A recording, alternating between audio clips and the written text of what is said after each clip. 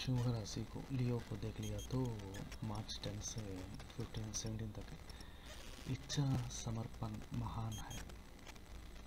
नौकरी जैसा आप चाहते हैं, उतना ही मिलेगा। बिज़नेस में मोनिका होने के साथ साथ है। शिस्त शिस्तरता उपलब्ध है, स्थिरता। वे समाज में अच्छी प्रतिष्ठा प्रतिष्ठाना उज्जित करेगा। उज्जवल होगा भविष्य। रुकावट दूर होगी विवाद ना करें, क्योंकि विवाद बढ़ जाएगा। नया प्रयासों से सफलता मिलेगा। आंतरिक शांति मिलती है। उपेक्षित कार्य पूरा हो गया। पसंद की देवी को याद करें।